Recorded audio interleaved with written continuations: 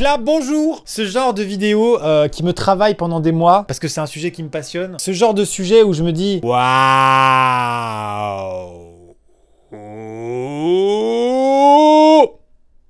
ça. J'ai envie de vous parler aujourd'hui, mesdames et messieurs, de crypto-monnaie et de blockchain. J'ai perdu la moitié des gens La courbe de watch time actuellement s'affiche sur votre écran. Il ne reste plus que 16 personnes. Je vais donc vous appeler par vos prénoms.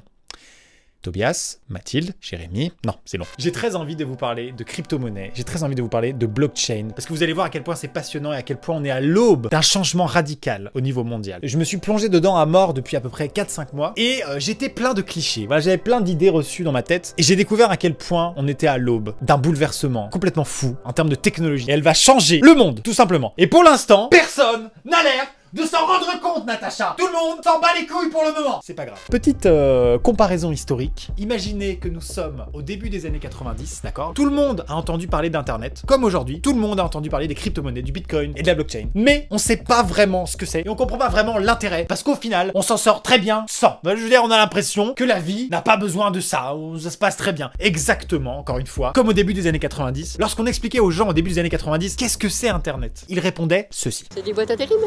Internet, euh, c'est le nettoyage. C'est comme un énorme Minitel. Internet bah, Je sais pas. Inter quoi? Autrement dit, ils comprenaient pas vraiment le concept d'Internet. Mais euh, non, non, non, non, je sais pas ce que c'est. Je comprends pas. Je n'en veux pas, je n'achète pas. Je vis très bien comme ça, j'ai Facebook, j'ai Twitter. J'ai la banque, c'est bon, je n'ai pas besoin. Ne touchez pas à mon argent Après, tout le monde réagit pas exactement comme ça, c'était un, un exemple. Imagine expliquer ce que c'est Internet à un mec du Moyen-Âge. Non, tu ne le fais pas, d'accord? Déjà, il faut connaître un gars du Moyen-Âge, c'est quand même assez rare dans la vie. Dans cette vidéo, mesdames et messieurs, je vais vous raconter des petites anecdotes croustillantes autour de la crypto-monnaie. Je vais vous expliquer un petit peu euh, ce qui a entouré la création de la première crypto-monnaie qui est le Bitcoin. Et dans une seconde partie, nous allons échanger avec un expert des crypto-monnaies qui est aussi youtubeur, qui est passionnant. C'est une sorte d'interview, on a parlé tous les deux. Le gars, vraiment, il te retourne le cerveau, voilà. On est sur un 180 degrés. Bref, tu pètes un peu en l'écoutant parce que tu te rends compte du changement que ça va être pour le monde entier. Mais d'abord, laissez-moi donc vous parler des crypto-monnaies, de la blockchain, du Bitcoin. Vous le savez, la première crypto-monnaie, à la fois la plus grosse et à la fois la toute première historiquement, c'est le Bitcoin. Voilà. Bitcoin, qu'est-ce qui vient en tête directement? Ça permet de financer la mafia. C'est un outil spéculatif qui, des fois, est à 200 dollars et des fois est à 20 000 dollars. Ça sert à acheter de la weed sur le darknet. Si vous en achetez, vous pouvez tout perdre. Et en gros, c'est un truc de hacker euh, qui essaye de bidouiller des trucs pas clairs. Grosso modo, c'est ça. Bon. C'est faux Alors, C'est pas ça. L'histoire du Bitcoin et de la blockchain et la raison pour laquelle je vous en parle aujourd'hui, c'est parce que ça a une résonance particulière par rapport à mon histoire personnelle. Et je pense que vous aussi. Et c'est pour ça aussi que j'en parle. En 2008, tout le monde se souvient qu'il y a eu une toute petite crise économique mondiale. The subprime crisis. Subprime crisis. Subprime. Subprime. Subprime. The stock market is now down 21%. We're now down 43%. Sectors, Apple's under pressure, uh, Yahoo down 8.5%, Cisco 6.5%. We're in the midst of a serious financial crisis. has now spread to every part of the world. As a result, our entire economy is in danger. La crise des subprimes, qui a un tout petit peu, tout petit peu, tout petit peu impacté nos vies, mine de rien. Hein. Cette incroyable crise économique et financière de 2008 a eu des conséquences complètement dingues sur des millions de foyers et de familles, dont la mienne. Je, alors attention, je ne me plains pas, j'ai toujours mangé à ma faim. Je suis issu d'une famille de classe moyenne, mais voilà, les classes moyennes pendant la crise, on a bien pris tarif. J'ai perdu ma maison. Alors évidemment, ça se fait pas du jour au lendemain, mais ça a eu des effets quand même complètement fous auxquels on s'attendait pas. Je pensais pas que de mon vivant, je pouvais perdre ma maison à cause d'un truc qui se passe aux États-Unis. Vous voyez ce que je veux dire? C'est pas ma maison, c'est celle de mes parents, mais bon, à l'époque, euh, t'es marrant toi. Bon, et parmi vous, comme vous êtes des millions, il y a forcément des gens pour qui il y a eu des conséquences. Et vous avez tous en tête ces conséquences. Il y a peut-être des gens qui ont perdu leur boulot, il y a peut-être même eu des conséquences dramatiques. Cette crise, ça a été complètement fou, d'accord? À cette époque, en 2008, un gars ou un groupe de gars, on sait pas vraiment, a pris conscience de la gravité de la situation, non seulement pour la crise économique en cours, celle de 2008, celle des subprimes, mais également pour les futures crises économiques qui peuvent arriver. Et ce gars, ou ce groupe de gars, connu sous le pseudo de Satoshi... Satoshi Nakamoto. Je suis sur la page Wikipédia, en fait, je vous lis une page Wikipédia. C'est pas vrai, d'accord Je me suis vachement renseigné. Je vais juste, j'arrive juste pas à prononcer le nom du gars. Il a eu une idée.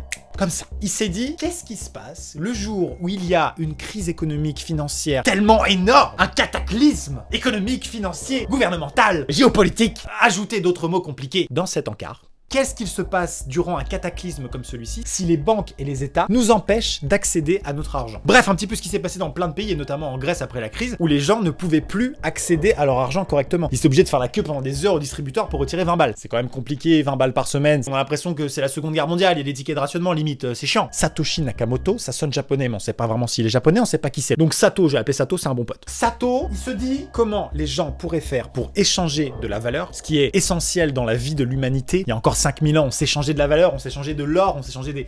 On faisait du troc, bref, s'échanger de la valeur, c'est ce qui permet de faire avancer l'humanité. Du coup, il s'est dit, il faut que je trouve un moyen pour permettre aux gens de s'échanger de la valeur sans passer par un intermédiaire qui potentiellement peut être corrompu ou peut faire faillite, comme par exemple une banque ou un État. Comment faire? Sato se dit, je vais créer un registre virtuel public, c'est-à-dire que tout le monde peut le voir, qui repose sur des milliers d'ordinateurs disponibles à travers le monde, des ordinateurs qui sont chez vous, chez moi, euh, bref, tout le monde peut mettre à disposition son ordinateur pour faire fonctionner ce registre visible de tous. Ça s'appelle une blockchain. Toutes les transactions sont visibles et passent à travers cette blockchain, on y reviendra un petit peu plus tard quand on en parlera avec Owen. En gros, une technologie qui redonne au peuple le pouvoir et le contrôle sur l'intermédiaire qui s'occupe de l'argent. Et actuellement, on se fait tous couiller parce que c'est détenu par des organismes qui sont centralisés. Des États, des banques, des entreprises qui détiennent tout. Et nous, on est en bas et, on se fait, on se fait couiller. La blockchain, là où c'est miraculeux, c'est que ça offre une transparence incroyable. Ça va totalement changer juste le commerce et les façons de faire, en gros, du business dans le monde entier. Puisque si quelqu'un fait une connerie, genre un État qui dépenserait pas son argent comme il faut, par exemple, ça se verra et donc ça changera la confiance qu'on accorde finalement à cet intermédiaire qu'il nous faut pour échanger de l'argent. Actuellement, c'est les banques, mais c'est totalement flou. On sait pas ce qu'est foot avec notre argent. Là, c'est complètement décentralisé et transparent. Et c'est ça la vraie révolution de la blockchain, mais on en parlera tout à l'heure. Satoshi Nakamoto, une fois qu'il a l'idée de la blockchain, il crée une monnaie associée à cette blockchain qui s'appelle le Bitcoin. Au début, cet algorithme repose sur très peu d'ordinateurs. Tu pouvais prendre ton ordinateur portable tout pourri, le mettre à disposition de la blockchain et tu pouvais miner des bitcoins comme un gros bâtard. Assez raisonnablement, tu pouvais en obtenir entre 5000 et 10 000, sans problème. 5000 et 10 000 bitcoins. Aujourd'hui, ça représente 100 millions d'euros. Oui, donc ton PC tout pourri qui peut pas faire tourner Fortnite, tu l'aurais mis à dispo euh, de la blockchain en 2009. Aujourd'hui, t'es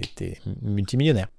Voilà. Au début, cet algorithme, c'est qu'une idée, c'est qu'un test. La blockchain, elle existe, mais elle n'a pas vraiment d'utilité. C'est là, mais on ne sait pas vraiment pourquoi c'est là. C'est en train d'être développé, c'est la phase de test, c'est connu uniquement par les gens extrêmement avertis, par certains développeurs, par certains hackers. Une espèce de communauté un peu chelou au début, c'est vrai, c'est vrai. Et au bout d'un moment, le 22 mai 2010, un développeur se dit Putain, j'ai quand même pas mal de bitcoins là, et euh, est-ce que quelqu'un accepterait de faire un truc si je lui file des bitcoins? Genre, me rendre un service en échange que je le paye avec des bitcoins finalement. Et le gars a faim. Bon, bah, comme tout le monde. Hein. Donc il, veut commander deux pizzas. Il trouve un gars et il lui dit voilà, bah, écoute, je te file 10 000 bitcoins, est-ce que tu veux bien me livrer deux pizzas en échange? Et le gars accepte. Et c'est la première transaction de l'histoire à base de bitcoin. Le mec se fait livrer deux pizzas pour la modique somme de 10 000 bitcoins, soit l'équivalent aujourd'hui de 100 millions d'euros. Aujourd'hui, ça fait donc 50 millions la pizza. J'espère que c'était pas une hawaïenne, ananas poulet.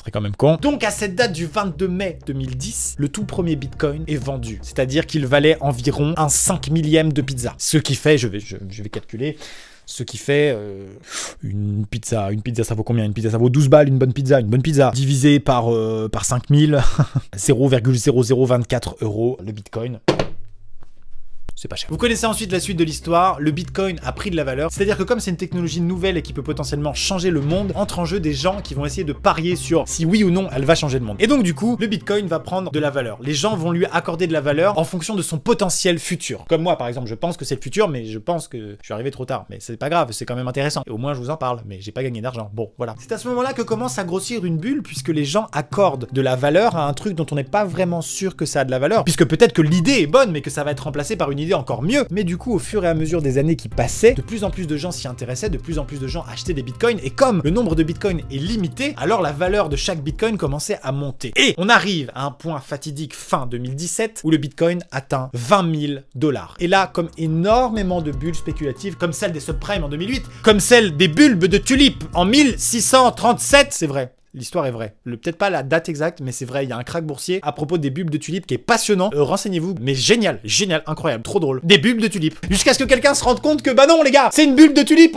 euh, pourquoi on l'achète si cher? C'est con, c'est une fleur, c'est con. Et du coup, tout d'un coup, tout le monde se rend compte que oui, effectivement, ça vaut rien. Donc ça dégringole. Bref, la bulle a éclaté. Mais ce n'est pas vraiment une bulle, puisqu'à l'intérieur, il n'y a pas vraiment de l'air, il n'y a pas vraiment rien. Il y a une vraie valeur, il y a un vrai truc, il y a une vraie technologie, il y, a il y a une vraie valeur ajoutée qui est la blockchain et le bitcoin. Et donc il n'est pas mort. Et il continue de réaugmenter aujourd'hui alors où je parle, il est environ à 10 000 dollars. Et certaines prédictions disent qu'un jour il sera à 300 000, même à 1 million de dollars.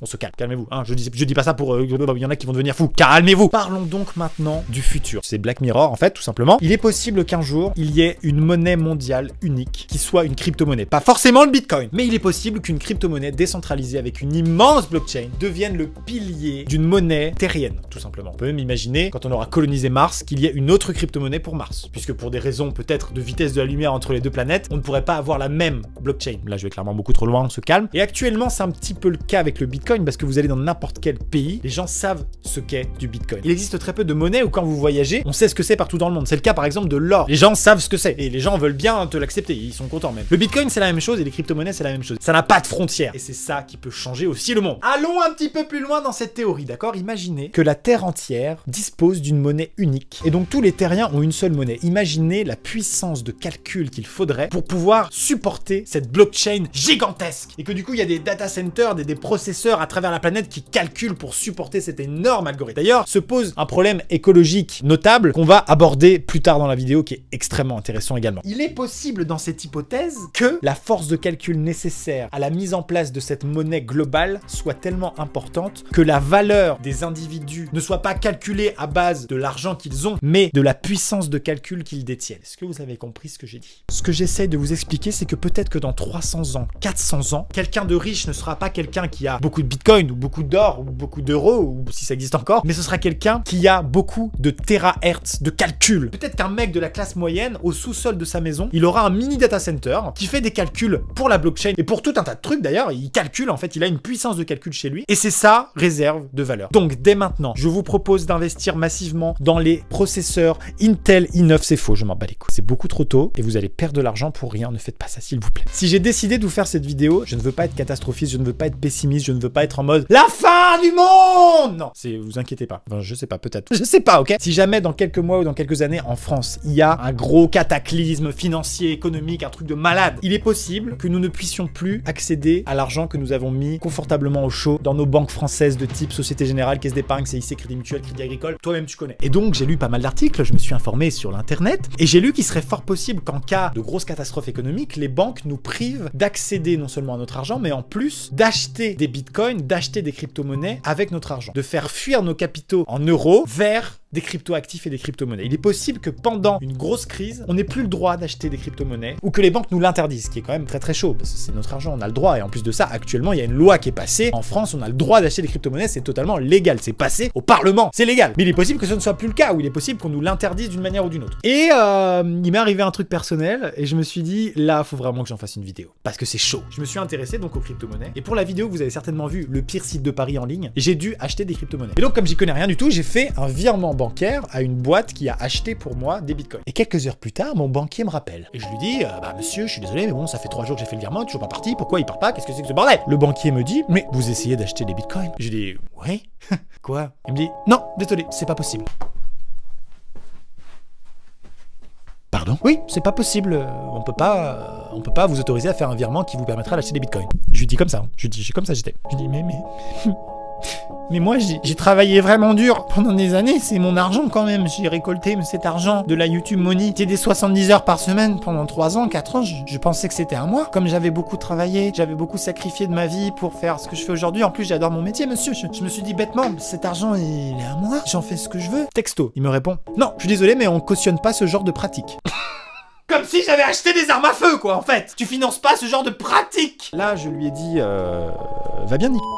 Euh, je lui ai pas dit comme ça en fait, mais je l'ai pensé. Il est possible qu'il regarde cette vidéo en plus. Euh, tant pis.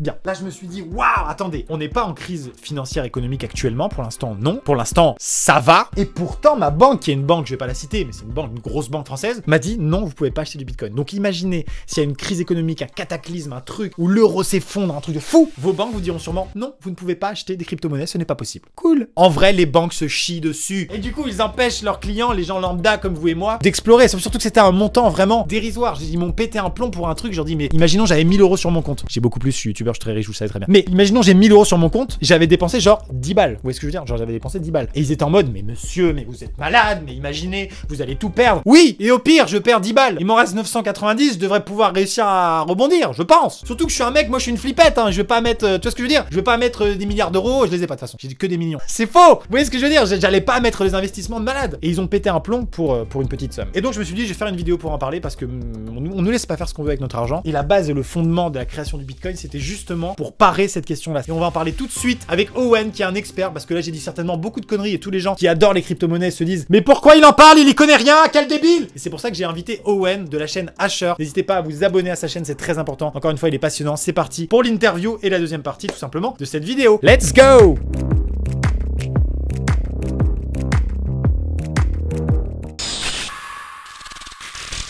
Owen, par où on commence? Je sais pas. Il y Déjà, a beaucoup trop euh, de choses. pré- je suis obligé de te présenter quand même un minimum. T'as une chaîne qui s'appelle Asher. Ouais. C'est, tu sais bien Tu, tu Euh, t'en es elle est- content, ah, tu- Les gens s'emmerdent sur maintenant.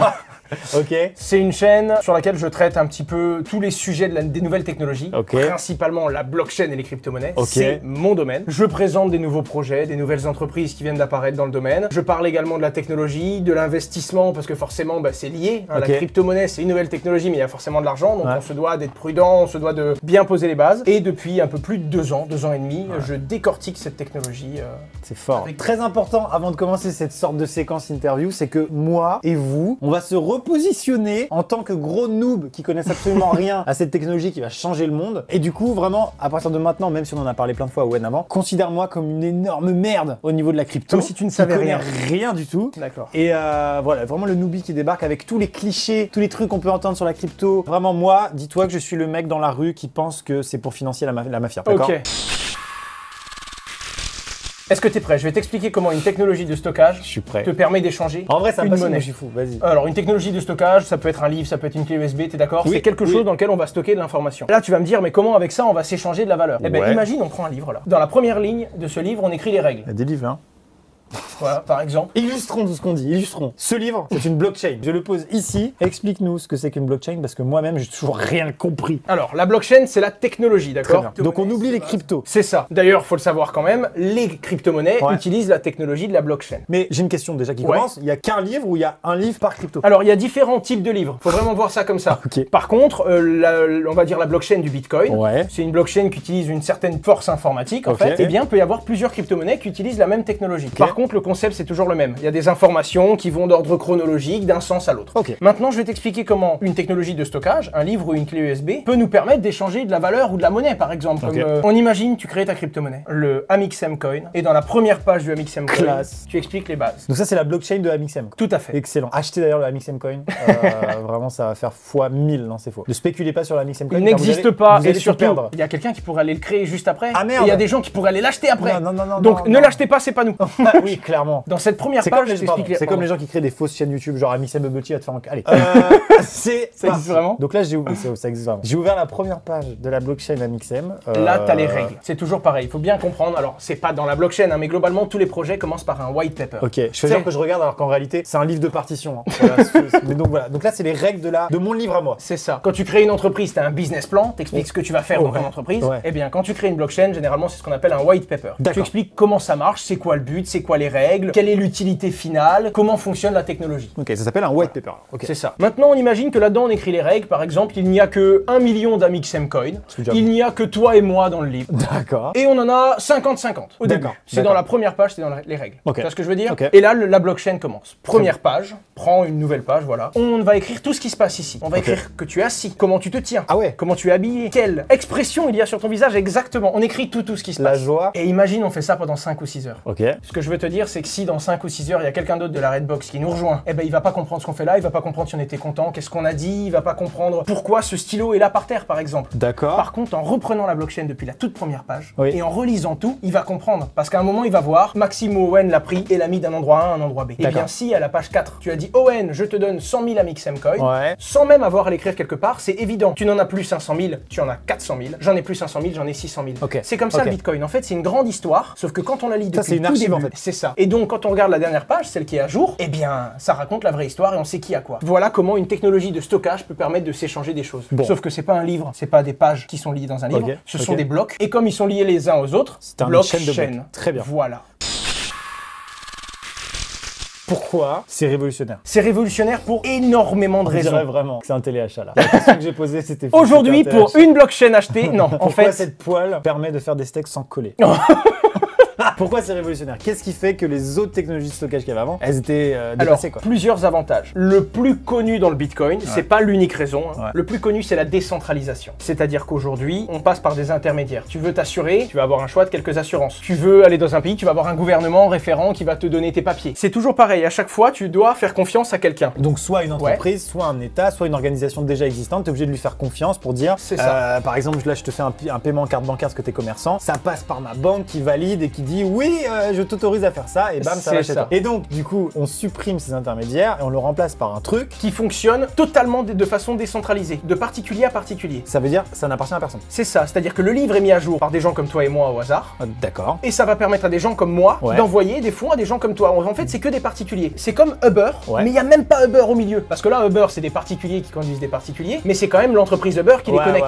Ben, c'est comme un Uber, sauf qu'au milieu, c'est pas Uber, c'est un algorithme. Comme si l'appli n'appartenait à personne. Comme si C'est l'appli. Uber n'appartenait à personne. C'est ça. Il y a les règles, il y a les frais dans la première page, qui te dit voilà, parce que ben, pour connecter un chauffeur à quelqu'un qui marche dans la rue, il faut quand même des calculs. Et donc, on va rémunérer l'être humain qui laisse son ordinateur tourner chez lui à la maison pour connecter euh, des gens dans la rue à des gens avec des voitures. Et ce mec-là qui prête son ordinateur, c'est le mineur. C'est le mineur de crypto-monnaie, t'as tout compris. C'est clair. C'est ça. C'est fou Donc, on parlait de Uber, mais ça veut dire qu'à terme, tous ces services qui connectent les gens vont être remplacés par des, des, des blockchains. Ils vont probablement se faire décentraliser. Alors, une petite chose qui est importante, il y a plein de gens qui disent Ouais, mais c'est la fin de tout, les robots vont. Non, c'est une évolution. On a quand même besoin d'un arbitre. Imagine, il y a une assurance qui fonctionne en blockchain. On aura toujours besoin, quand tu vas planter ta voiture, on aura toujours besoin de quelqu'un qui vient vérifier que t'as pas volontairement ouais, écrasé ouais. ta voiture. Donc en fait, c'est juste que les métiers vont évoluer si tu veux. La blockchain va pouvoir diminuer les intermédiaires et diminuer les frais, forcément, parce que ça va être automatique. Mais il y aura toujours besoin de gens pour entretenir le système. C'est juste que tu pourras, au lieu de dire bon bah j'ai pas de boulot, je vais pouvoir devenir Uber par exemple pour conduire les gens, bah, tu pourras faire ça dans l'assurance, tu pourras faire ça dans le plein de domaines dans lesquels Ok. tu es compétent. Waouh, il y a un mec derrière toi qui est passé. Je sais pas si ma vanne elle a marché. Franchement, ouais. Ah, elle a marché. Ah bon, t'as bien vu T'étais là Qu'est-ce depuis qu'il y a longtemps Non, je- Je voulais savoir si j'étais riche là. Non, en fait, c'est pas justement, on est en train d'expliquer que c'est une technologie avant d'être un truc de spéculation. Ok, bah vous m'appelez quand. Quand... Mais tu crois, tu crois en la technologie ou pas J'adore ça. ah bah, Il faudra être patient et ça va se faire. Et bah j'attends alors. J'attends alors. Voilà, Dans voilà. trois semaines. Non, non, non, non. Peut-être, Tu n'as pas compris Au moins un an quoi. une dizaine d'années. Combien en fait? Pour moi, la blockchain sera totalement installée et elle sera évidente comme Internet aujourd'hui dans 10 à 15 ans maximum. Et bah je m'en vais alors. En tout cas, il y a le Unicoin derrière. Je sais pas si tu vois, on le voit à l'écran. Elle était fine ça. Elle était pas mal. Elle était fine. Ah, merci. Ça permet de. Merci. de, de Je sais pas, c'est connecter des BMX avec. C'est connecter les roues avec les cadres. C'était Jordan, déguisé en Luigi. Donc tout à l'heure, quand j'expliquais qu'on était en 1990 par rapport à Internet, je suis pas trop mal. Internet, pour moi, est devenu incontournable en fin des années 90, où vraiment tout le monde l'avait. C'est ça. Il a, fa- il a fallu, ouais, il a fallu 35 ans entre la découverte et aujourd'hui. Aujourd'hui, ça va faire 35 ans qu'Internet est couramment utilisé. Ok. C'est ça. 35 ans quand même. Ouais, entre ouais. la découverte du Ouais, protocole je viens et de ce que réaliser que c'est j'étais très très vieux en fait, c'est fou. Et je repose la blockchain ici.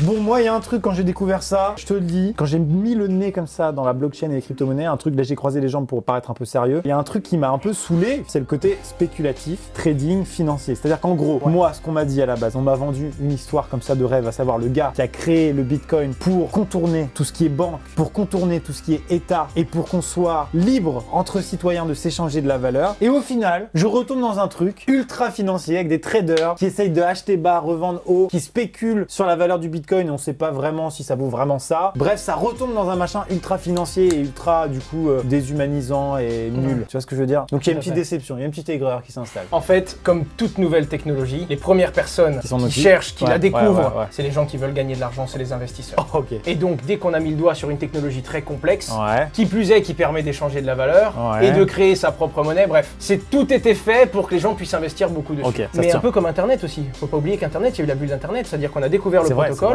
Quelques semaines après, il y avait déjà des dizaines, voire des centaines de milliards, beaucoup plus que ce que représente la blockchain aujourd'hui. Et d'ailleurs, ça s'est tout de suite effondré après. Il a fallu 35 ans pour qu'Internet devienne le Google qu'on connaît aujourd'hui, par exemple. Bah, c'est exactement pareil pour cette technologie. Et malheureusement, ce cycle qui fait que ça prend de la valeur et ça s'effondre, et ça reprend de la valeur et ça se réeffondre, c'est un cycle qui est malsain parce que c'est que des gens qui investissent. Les derniers à investir, bah, quand tout s'effondre, bah, ils perdent de la valeur. Et là, il y a les plus intelligents qui rachètent moins cher et qui vont revendre quand ça monte. Mais ce qu'il faut vraiment comprendre, c'est que c'est ça qui fait parler du Bitcoin. Mais en mal du coup. En mal, mais malheureusement, c'est le seul moyen qui a vraiment précipité l'adoption massive aujourd'hui. C'est oh le Bitcoin a touché les 20 000, je vais m'y intéresser. Comment t'en as entendu parler pour la toute première fois? Quelqu'un est venu te voir en disant j'ai découvert une technologie géniale? Ou il t'a dit hey j'ai des Bitcoins Ouais. ça Ouais, clairement. Donc Ouais, voilà. Non, non, je me rappelle, il s'appelait Fabrice. non, mais je vois très bien ce que tu veux dire. Mais regarde, là, tu vois, aujourd'hui, on fait cette vidéo parce que tous les deux, on croit en un truc qui va changer le monde. Et du coup, on a envie de dire aux gens, mais non, c'est pas ça. Donc, justement, on a envie d'expliquer, on a envie de faire de la vulgarisation pour que les gens comprennent. Et du coup, en fait, on, on se bat contre le truc qui a permis de faire connaître ça aux gens. Tu vois ce que je veux dire? Et Des- malheureusement, des on spéculateurs, peut en pas arrêter ça. Parce que c'est l'homme et celui qui va être d'accord avec nous, même sur la technologie. Quelqu'un d'intelligent qui se met d'accord, la technologie est révolutionnaire, c'est le début, qu'est-ce qu'il va faire? Il va aller faire ce qu'on vient de dire qu'il fallait pas faire, il va aller acheter. C'est comme ça. C'est un cycle. Le plus important, c'est du coup quand on le démocratise, quand on l'explique Ouais. et qu'on essaye de rendre ça plus populaire, il faut simplement expliquer que moi, la blockchain, j'y crois sur 5, 10 ans, 15 ans. Peut-être que les crypto-monnaies les plus connues dans 15 ans, elles n'existent pas encore. C'est Ouais. la technologie qui m'intéresse aujourd'hui. Je suis certain que les crypto-monnaies ont de l'avenir. Par contre, prendre une crypto-monnaie telle qu'elle soit aujourd'hui et se dire dans 3 semaines elle va prendre de la valeur, c'est totalement idiot. C'est du pile ou face. On ne Ouais, peut pas ouais, savoir. clairement, et c'est pour ça qu'il faut déconseiller, surtout aux personnes qui sont pas dedans 24 heures sur 24, Ouais, ouais, ouais, clairement. d'investir dedans. C'est la pire chose. Donc vraiment, si jamais je passe ça maintenant, je sais pas si c'est le bon, le bon moment pour le dire, mais si jamais à la suite de cette vidéo vous en achetez, prenez-en si vous avez envie d'en prendre, mais surtout oubliez-les, oubliez-les. C'est vraiment genre, n'y retournez plus. Vous revenez dans 15 ans. Et là, vraiment, ce sera sympa, sûrement. Ou alors, ça n'existera pas. Donc ok, il y a les investisseurs, nanana, ça traite dans tous les sens. Et du coup, comme la technologie est encore nouvelle et pas adoptée au niveau global encore, Oui. genre ça fait que de monter, descendre et tout. Tu vois les prix, tu fais mais c'est quoi ce truc? Genre un bitcoin actuellement à l'heure où on parle, c'est aux alentours de 10 000 balles, j'ai pas regardé, je sais pas. Ça. 10 000 balles un bitcoin? Déjà, juste pour la compréhension du truc, tu dis, ok, c'est une nouvelle monnaie, une unité de cette monnaie, déjà, c'est 10 000 balles. Donc, moi, il y a une question bête et méchante déjà de base, mais moi, j'ai pas 10 000 balles en fait. Genre, dis, je peux pas, tu comprends ce que je veux dire? Alors, c'est divisible. Voilà. Tu peux acheter 0,0032 bitcoin. D'ailleurs, faut le savoir, le centime du bitcoin, c'est 0,70 et 1. D'accord. Et on appelle ça un Satoshi. Le nom du créateur, ou du moins le nom du groupe de personnes qui l'ont créé. D'accord. Donc, déjà, c'est divisible, donc ça veut dire que t'es pas obligé d'acheter une seule portion. C'est un, c'est un token qui est. Heureusement, sinon tu pourrais jamais payer ce quoi que ce soit en bitcoin. hyper compliqué, on est bien d'accord. Non, mais c'est une question bête, mais de faire la 10 poser ou tout 20 000 simplement. euros ce que t'achètes, sinon tu peux pas. C'est ça, c'est ça, c'est ça vraiment. C'est une voiture. Il faut vraiment que le mec chez Dacia fasse un arrondi. Voilà, hein. qui soit vraiment. Ça, ok, d'accord. Le Dacia à 9999, il dit vous pouvez pas me le vendre un euro plus cher parce que je. Je- Sinon, chier. Les autres avantages de la blockchain par rapport à ce qui existe déjà, c'est quoi? À part, à part le fait que c'est décentralisé et que du coup ça n'appartient plus ou moins à personne. Alors, immuable, c'est totalement inarrêtable. Ouais. Ça ne se casse pas. D'ailleurs, quand on entend ouais, le bitcoin s'est fait hacker, non, non, non. S'il y a quelqu'un qui va attaquer la Société Générale et qui vole des billets, euh, des, Ouais, des ouais, euros, on dit pas l'euro s'est fait hacker. Non, c'est la Société Générale. Mais bien, quand il y a un hack en bitcoin, c'est pas le bitcoin qui se fait hacker, c'est les plateformes qui en détiennent. Le bitcoin ne s'est jamais fait hacker. Ça, c'est le premier truc à comprendre. Ensuite, on ne peut pas l'arrêter. Le seul moyen d'arrêter le bitcoin, en fait, C'est d'éteindre toutes les machines. alors soit c'est d'éteindre toutes les machines, Donc Internet, électricité à euh, au stade mondial, mais il y a déjà des gens qui bossent sur des connexions satellitaires pour que même si un jour il n'y a plus d'électricité, plus d'internet, avec les téléphones qui ont encore de l'électricité, on Ok. pourrait mettre à jour la blockchain. C'est-à-dire qu'ils ont déjà prévu le plan B au cas où. D'accord. L'autre moyen, ce serait de pouvoir avoir suffisamment de puissance de calcul. Si tu as plus de 51% des ordinateurs de la planète qui mettent à jour le livre Ouais, géant, ouais, ouais, eh bien tu peux écrire euh, Maxime se crée un milliard de nouveaux bitcoins. Entrez, hop, et ça marche. Ça, c'est les règles du jeu. Ça, c'est les règles. Si tu as 51% de la puissance, tu peux faire ce qu'on appelle une attaque 51 et donc écrire des fausses choses et les valider toi-même en disant que c'est vrai. What? Sauf que, deux grosses choses à savoir, la blockchain, elle reste transparente. Si un jour tu arrives à tricher et tu arrives à se créer des bitcoins, tous les autres êtres humains qui sont sur la blockchain vont dire attendez, il y a une ligne là. C'est pas possible. Le mec, il s'est donné des bitcoins qui n'existaient pas avant. Et là, d'une minute à l'autre, plus personne n'a confiance au bitcoin. Et là, son prix, il va vraiment s'effondrer. Tu seras devenu le roi d'un empire où tu peux te créer des trucs qui vaut rien. Donc, même si tu arrives à ce moment-là, t'as aucun intérêt, toi, à, À faire, faire du ça. mal. Et c'est ça, c'est l'une des choses qui m'a plu dans la blockchain. Même, Même si, si- tu arrives à devenir le plus Ouais, puissant d'entre tous, ton intérêt, même économique, c'est de prendre soin du système actuel et qui continue à se développer. Ça, c'est un truc qui m'a vraiment plu. Cool. Et c'est l'une des choses qui m'attire vers cette technologie.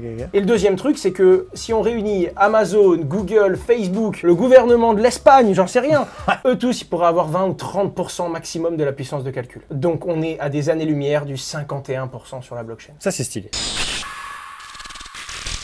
Ces grosses cryptos là, donc les, les grosses cryptos euh, les plus connues euh, qui sont disponibles sur les, sur les, sur les applis et tout, c'est Bitcoin, Ethereum, après il y a quoi? Il y en a énormément. Il y a Bitcoin, Non, Ethereum, il y a Litecoin, le Litecoin, le Ripple, EOS, et puis après, euh, je, je- je pourrais t'en lister et, et, tellement. et genre, parce que pour moi, Bitcoin et Ethereum et Litecoin, c'est, elles ont pas de projet particulier qui sont adossés derrière, tu vois. Genre, elles servent pas particulièrement à quelque chose, alors qu'il y a des toutes petites cryptos qui vont servir qu'à un seul truc. On est Ah, d'accord ouais, Tout à fait. Alors, pour moi, l'Ether, j'ai vraiment vu ça en mode on va utiliser et permettre à tout plein de gens qui ont des idées de les appliquer grâce à notre technologie. C'est un bac une à sable de la crypto-monnaie. crypto, quoi. Tu veux créer ta crypto-monnaie. Ouais. Déjà, c'est compliqué. Ouais. Ensuite, tu vas me demander quel type de blockchain faire. Et ensuite, euh, ok, mais moi, il me faut quoi comme mineur? Est-ce que c'est des ordinateurs avec des cartes graphiques ou des ordinateurs avec des processeurs? Ça devient compliqué. Ouais. Enfin bref, c'est un truc de fou.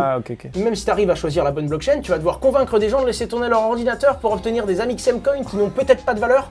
C'est Ouais, ça stylé comme idée. Des gens qui font tourner leur ordinateur pour des Mixem Coin. ça nous amène à une autre question qui n'a rien à voir. Est-ce qu'on en parle maintenant? Je ne sais pas. Mais imaginons que là on lance la Mixem Chain euh, et la Mixem Coin. Oh, les gens ça laissent tourner, les, tourner dans leur, ordi- leur ordinateur, ça consomme de l'électricité et il y a une idée reçue euh, sur, la, sur la blockchain et sur le Bitcoin, c'est que ça consomme tellement que c'est genre un cataclysme écologique incroyable et que c'est la pire chose qui puisse arriver en fait. C'est totalement faux. C'est vrai? Oui. Bah déjà, alors il y a eu plein d'études. Le plus important, c'est de se documenter là-dessus. hein, C'est le seul moyen. Il y a eu plein d'études qui prouvent que 74% de l'énergie consommée par le Bitcoin Ouais. est de l'énergie renouvelable. Intelligemment, le but, c'est de consommer, de payer l'électricité le moins cher possible et de valider un maximum de transactions. Et donc, où est-ce qu'on va chercher l'énergie la moins chère? Énergie renouvelable, éolien et surtout hydroélectrique. Et pour finir, de l'énergie que personne n'allait utiliser. Donc les principalement mineurs, en Islande, par des exemple. mineurs, pas parce que c'est des, des- des gens très gentils, mais juste parce qu'ils veulent faire des économies, ils se tournent vers les trucs. Oui. qui, qui- Là, par contre, faut être honnête, c'est pas parce qu'ils sont gentils, pas- c'est principalement parce que c'est moins cher. Ok. Et du coup, en Islande, justement, il y a de l'énergie géothermique Ouais, qu'on ouais, pouvait ouais, pas exporter. Bien, les gens vont s'installer là-bas. Personne ne va en Islande. On va en Islande pour miner du Bitcoin. Ok. Voilà, ça, faut le savoir. Et deuxièmement, dans les mêmes proportions, ça consommerait 6 fois moins. Oui. Alors, j'ai lu qu'une seule étude là-dessus et j'ai Ouais. pas pu creuser toutes les sources, mais ça consommerait 6 fois moins que le système bancaire actuel. Donc, Mais à partir de ce moment-là. pourquoi, pourquoi il y a plein de trucs Parce veulent- que parce que c'est des idées qui sont faciles à circuler et la plupart des problèmes des gens c'est qu'ils disent ouais ça consomme autant que un pays mais par rapport à quoi? C'est ça qu'il faut leur demander tu dis que ça consomme trop par rapport à quoi? Et là les gens savent plus répondre normal parce qu'ils n'ont pas été se renseigner en fait D'accord. après, là où je suis d'accord, si c'est une technologie et qu'on voudrait la voir et qu'on voudrait que tout le monde ait des bitcoins dans la poche un jour ou l'autre, Oui. il faut maintenant se concentrer sur comment faire pour que ça consomme moins. Mais aujourd'hui, c'est absolument pas une aberration et il y a déjà la plupart des nouvelles blockchains utilisent des protocoles qui consomment jusqu'à 1000 fois moins que le bitcoin D'accord. et des fois 10 000 fois moins. Encore une fois, le, le- ouais, la blockchain du Bitcoin et le Bitcoin, c'est un produit parmi tant d'autres. Et au final, ce qui va peut-être être adopté dans 15 ans, c'est peut-être un truc qui n'existe même pas encore, Exactement. qui s'appelle la Mixem Coin d'ailleurs, et euh, qui va être mondial et qui, euh, qui peut euh, voilà, consommer mille fois moins et qui peut être grave écologique. Ok, on a balayé les haters. Voilà, je pense qu'on a balayé à peu près tous les haters. ok, cool. tu me resserres un petit verre d'eau pour fêter ça. Cette vidéo, c'est sûr, elle fait déjà deux heures. Mais c'est trop cool, c'est trop passionnant. Et c'est un petit peu comme la vidéo que j'avais fait sur le futur de l'univers, qui est un sujet qui n'a rien à voir, mais qui me passionne. Et du coup, j'ai pas envie d'arrêter cette vidéo, donc on la continue tout simplement. Owen, je peux te poser une question? Oui, Maxime. J'adore les bitcoins.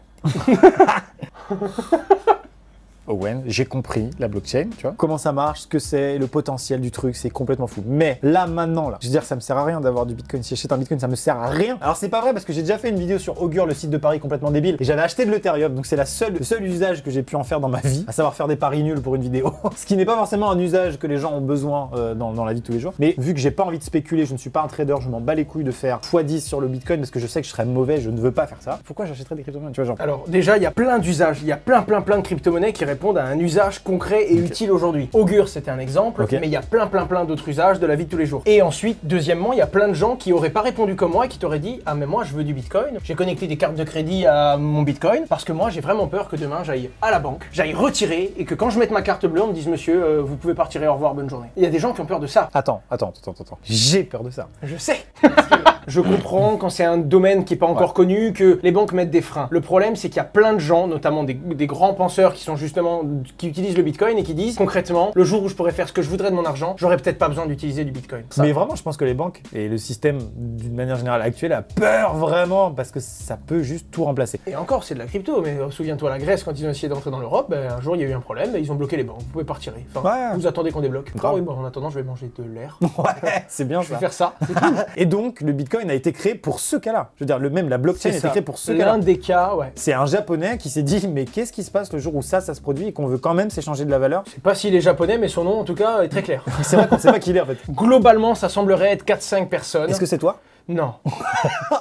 Oh, Fabien Licard, tu peux analyser s'il te plaît Non. Ce serait stylé, putain, merde. Pourquoi, pourquoi je devrais en acheter Alors déjà, pour te désindexer en fait, te désaccrocher de cette obligation de passer par les banques et du système actuel, Ouais. surtout que bah, avant les gens avaient peur, parce que même si tu voulais retrouver ta liberté, t'achetais du bitcoin, mais son prix bougeait, donc tu dormais pas bien la nuit. Ouais, clairement, clairement. Maintenant, il y a des, ce qu'on appelle des stablecoins, des crypto-monnaies qui restent genre à 1 euro ou à 1 dollar. D'accord, d'accord. Donc elles peuvent bouger un tout petit peu, mais t'as pas peur de te réveiller le matin et d'avoir tout perdu. En plus de ça, il y a des banques maintenant qui te permettent de mettre ta crypto-monnaie dedans et t'as une carte bleue. D'accord, ça te change rien rien dans ta vie en fait. C'est ça, donc ça changera rien. Et Donc pour, le commerçant, un des usages simples, c'est juste de sécuriser une partie de sa thune. Un peu comme quand. euh, s'émanciper, ouais.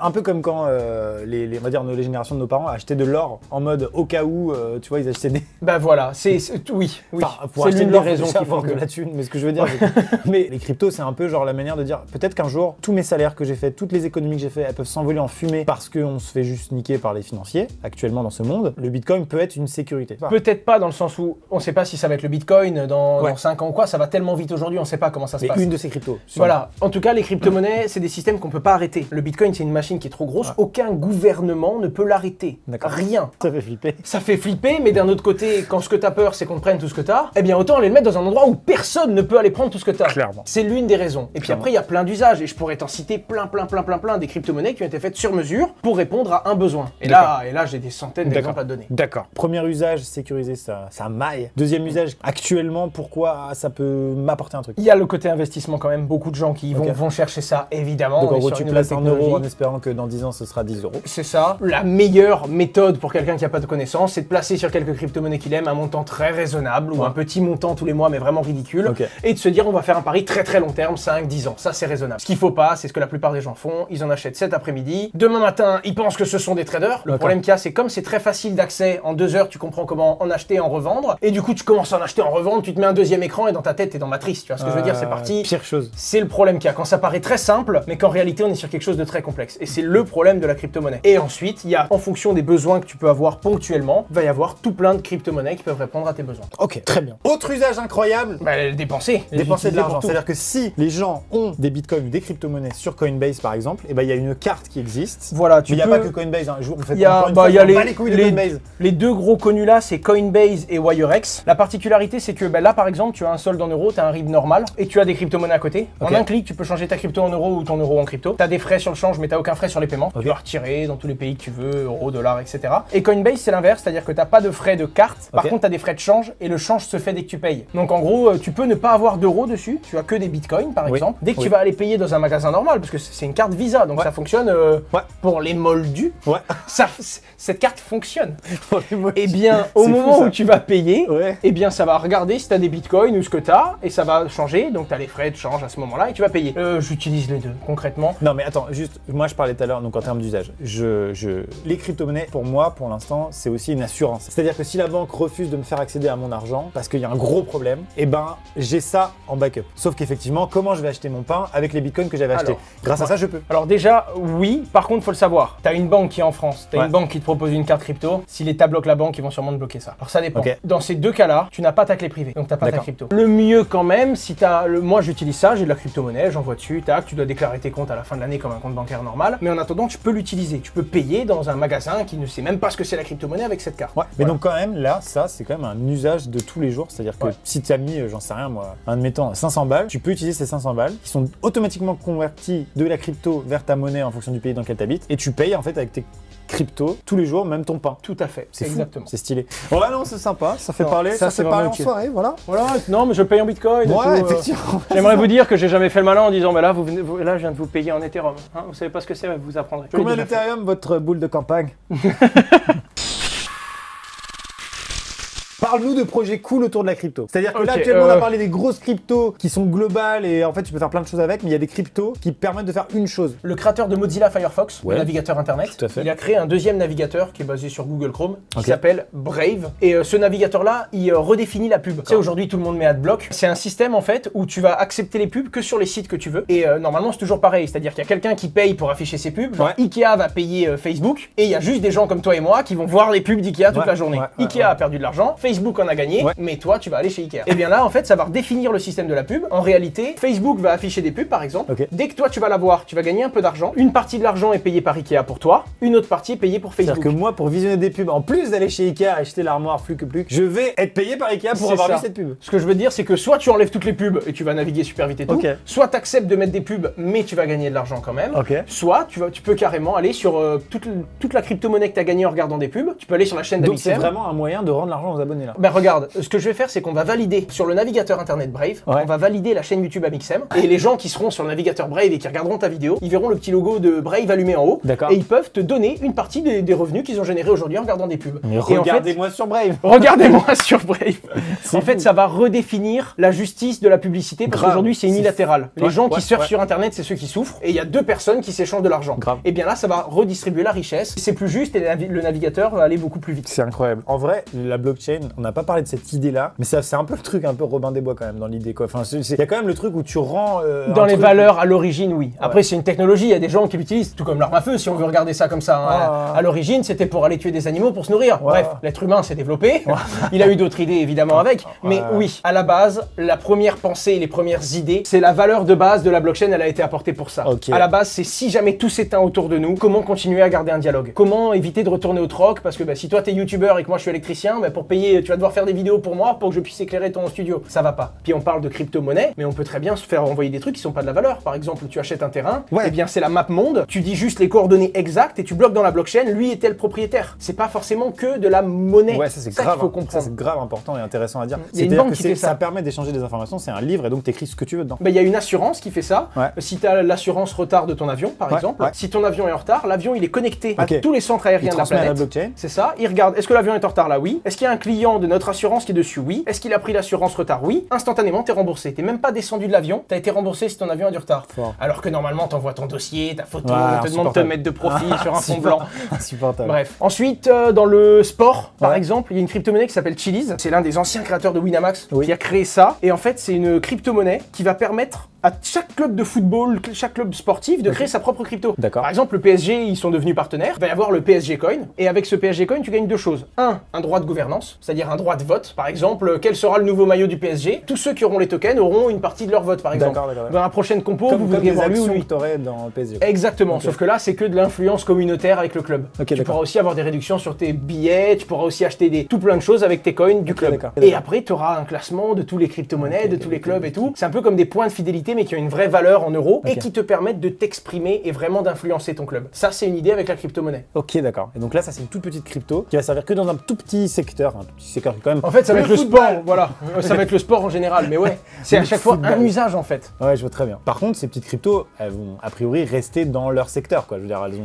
C'est ça. Après, il y a différentes. en- Encore une fois, il y a différentes cryptos. Ethereum, Ouais. la grosse crypto-monnaie. La deuxième, eux, ils n'ont pas un secteur. Eux, leur secteur, c'est la blockchain. Vous voulez lever des fonds, vous êtes une entreprise, on va vous permettre lever facilement. Les gens m'ont dit, ouais, la blockchain, c'est un peu comme une pâte à modeler. On lui donne la forme qu'on veut pour régler un problème. Moi, je dis, c'est pire que ça. La blockchain, c'est mieux. une boîte dans laquelle on fait apparaître n'importe quel outil. D'accord. On a un problème, on va pouvoir créer les outils sur mesure pour régler les problèmes. à vraiment sans Minecraft. C'est une boîte à crafter. C'est. C'est génial. D'autres exemples de, de, de blockchain, de crypto dans des secteurs hyper précis? Il y a un autre petit projet que, que je connais bien en ce moment, il s'appelle Particle. Ok. Ben en fait, tu fais une commande, quelqu'un te l'achète, tu bloques l'argent dans la blockchain, c'est pas l'entreprise Particle qui l'a. Fort. C'est bloqué, ensuite tu vas donner un feedback. Soit il y a un problème et à ce moment-là, il y a un- va y avoir une discussion. Comment arranger? Est-ce qu'il faut changer le produit? Est-ce qu'on annule la vente? Bref. Et en fonction de ça, les fonds sont libérés. Mais c'est directement automatique. Il n'y a même pas un site au milieu qui va choisir comment t'es noté, etc. etc. Et il y a des milliers, en fait, dans tous les domaines, presque tous les domaines de la planète, je pourrais te citer 4, 5, 6 projets. C'est là, je trouve que c'est vraiment le moment où on se rend plus compte de à quel point ça va tout changer. Et à quel point, en fait, les blockchains vont tout changer. Mais c'est trop intéressant, mec. J'ai une question, Owen, quand t'auras fini ton verre. Et mec, ça me rend fou, en fait. Comment fait-on pour acheter des crypto-monnaies Moi, je sais, parce que tu me l'as dit avant. Mais comment on fait? C'est une question simple. Alors, soit tu trouves quelqu'un qui en a et tu fais un échange, soit tu vas sur un site internet.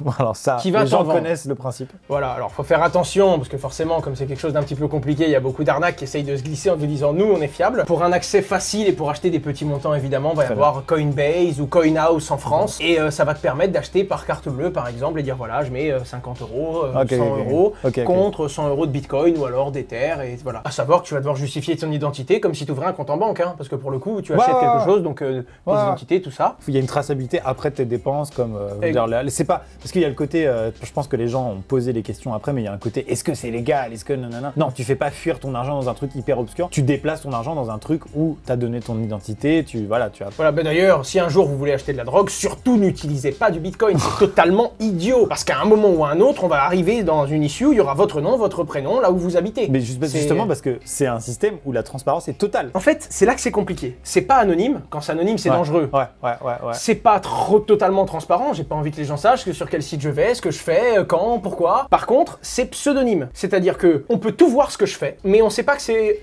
Owen Simonin ou Washer derrière. On sait que c'est euh, tr- euh, 334, 222, 26, Ok, 8. ok, ok. Par contre, si ces, ces chiffres-là Voilà. font des conneries, au bout d'un Si moment. ces chiffres-là font des conneries, à un moment il y a la police qui arrive qui dit a qui derrière ça Ouais. Et ils vont voir qui est pour la première transaction, la première fois que j'ai des bitcoins, ils vont dire bon ben c'est quel site? Là ils vont voir un site connu et ils vont dire ok, ils vont contacter le site, c'était qui celui-là? C'est pour ça qu'on dit que c'est pas anonyme, c'est pseudonyme. Donc du coup, si tu veux devenir du jour au lendemain un méga euh, trader de malade, tu vas aller genre sur euh, Binance parce que moi je connais Binance. Alors lui c'est un échangeur. C'est un échangeur, Voilà. c'est- c'est une place de marché quoi. C'est ça, on appelle ça un exchange. C'est l'endroit où il y a des centaines de personnes qui se rejoignent pour échanger une crypto contre une autre. Mais du coup, en fonction du montant que tu mets ou de l'implication que tu mets, c'est pas forcément la même plateforme. Genre par exemple, tu parlais de, de CoinHouse et Coinbase, on va dire que c'est les trucs grand public, C'est hyper ça. facile. En fait, c'est En fait, en fait, hyper moi, quand je suis arrivé accessible. la première fois sur ces trucs-là, c'était grave rassurant, genre c'est facile, tu comprends direct. Binance t'arrive, ta tête elle explose. C'est cool, mais il faut s'y connaître beaucoup plus quoi. C'est ça. gros, ouais. Le seul truc, c'est que bah, en fait, bah, Binance déjà, il va même pas te pouvoir te permettre d'échanger contre des euros au début. Donc ce sera d'autres plateformes. Mais c'est vrai que bah,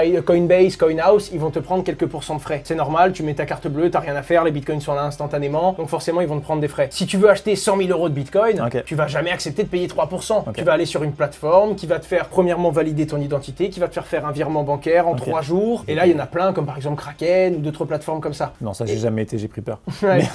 Là, on est en train de parler d'achat. On est en train de dire comment est-ce qu'on achète du Bitcoin. Et donc, il y a forcément des gens qui se disent J'en veux maintenant Peut-être pas exactement comme ça, mais je, je sais qu'il y en a. C'est pour ça que je disais tout à l'heure Calmez-vous, ok? Je suis hypé par la technologie avant tout. Je suis hypé par le fait que ça va changer le monde comme toi. Et là, on parle maintenant de la monnaie, du token, du, du- du truc qui fait que, que- que tu achètes. Ça, c'est pas le truc le plus important que j'ai envie de vous faire passer dans cette vidéo en termes de message. Mais si jamais vous voulez en acheter, achetez-en un montant qui est dérisoire par rapport à ce que vous êtes capable de mettre. Je pense que vraiment, moi, ma conviction la plus profonde, c'est achetez-en. Parce que peut-être que l'euro, juste l'euro que vous allez poser sur une crypto, il vous sauvera demain. C'est vrai, c'est ce que je pense, moi, je vais pas le dire autrement. Vois, même vos parents, même vos grands-parents, moi, j'ai été voir mes parents, je leur ai dit, posez 100 balles. Je, je leur ai dit, faites ça. Et en même temps, c'est pas la même génération eux, qui me disent, ouais, mais non, moi, je connais pas. Et puis, c'est pour les mafias. Tu vois, J'ai une idée de jeu. Toutes les crypto-monnaies ont leur adresse. Quand tu ouvres un compte sur une crypto-monnaie, tu as une clé privée Oui. et une clé publique. Oui. La clé publique, c'est un peu comme ton RIB. Par contre, quand je veux envoyer des bitcoins de ce compte, là, la blockchain me demande la clé privée, s'il te plaît, Ouais, ouais, pour ouais. prouver que c'est Le bien mot de toi. passe, quoi. Voilà, le mot de passe. Eh bien, dans la description, dans les commentaires, s'il y a des gens qui mettent leur adresse BEP2, ça va pas parler, il y a des gens qui vont aller chercher, c'est ça qui est intéressant. Ok. Eh bien, juste pour rigoler, euh, je me débrouillerai pour obtenir un petit budget et envoyer euh, 50 ou 100 euros de crypto-monnaie à 5 ou 10 adresses. D'accord. BEP2. C'est une adresse Binance Coin. S'il y a des gens qui mettent leur adresse, j'enverrai des, des petits morceaux de projets différents pour qu'ils aillent se renseigner en plus.